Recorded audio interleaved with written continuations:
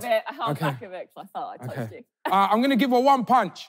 Oh, Should I give her one free punch? Yes! Yes! Yes! I'm not sure I want to see it. Oh, this could be bad.